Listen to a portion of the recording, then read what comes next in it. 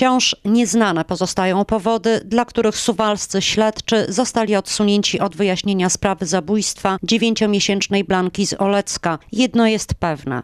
Nie jest to efekt działań pełnomocnika Grzegorza W., mecenasa Wojciecha Stpiczyńskiego. Nie składałem takiego wniosku.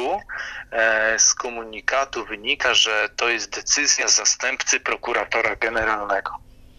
Mhm. A domyśla się pan może przyczyn, dla których to postępowanie zostało przeniesione do Gdańska?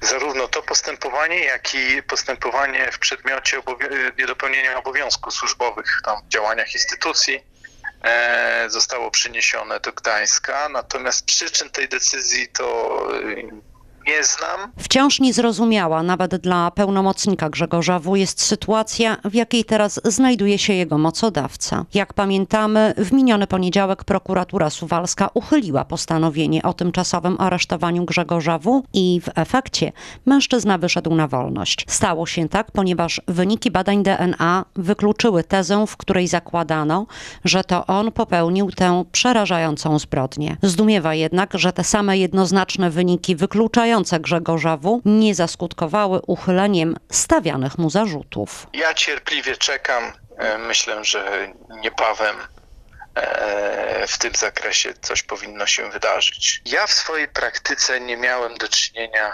właśnie z takim przypadkiem, że te zarzuty są, mimo wydanego już nawet przez prokuraturę oświadczenia, że Grzegorz W.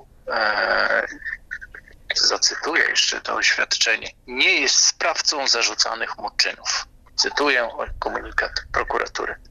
Z tego komunikatu wynika, że nie jest sprawcą żadnego z tych czynów.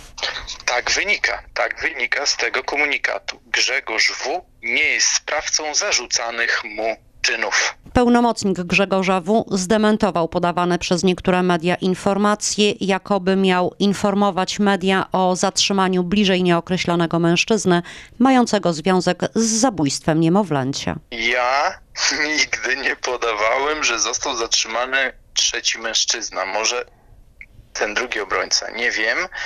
Natomiast e, ja tylko potwierdzałem, że są jakieś plotki, ale ja ich nie potwierdzam i nie posiadam takiej wiedzy. Ojciec dziewięciomiesięcznej Blanki przebywa na wolności, jednak stan jego zdrowia budzi bardzo poważny niepokój. Wymaga wsparcia psychicznego, psychiatrycznego e, i tam chyba już jest na etapie e, konsultowania się z, z lekarzami. Jak usłyszeliśmy dzisiaj od mecenasa Stpiczyńskiego, jego mocodawca nie podjął z nim tematu ewentualnego zadośćuczynienia za doznane krzywdy wynikające z zatrzymania, pobytu w areszcie, czy kompletnie niezrozumiałego i przedłużającego się utrzymywania jego udziału w sprawie ze statusem podejrzanego. Mecenas Wojciech Stpiczyński nie wie, w jakim terminie może dojść do zmiany statusu ojca Blanki w sprawie dotyczącej zbrodni popełnionej na dziecku. Bardzo chciałbym przewidzieć, kiedy to będzie, ale oczywiście nie potrafię pani odpowiedzieć na to pytanie. To pytanie trzeba kierować do prokuratury.